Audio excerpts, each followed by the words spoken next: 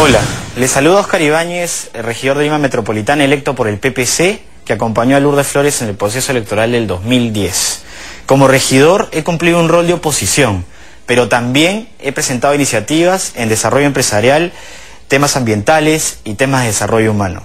Hoy presido la Comisión Evaluadora de la Parada, que es una comisión que busca encontrar los responsables de los sucesos lamentables del 25 de octubre, pero sobre todo busca encontrar las soluciones definitivas en lo que refiere a los trabajadores manuales, carretilleros y comerciantes mayoristas y minoristas dentro del mercado mayorista.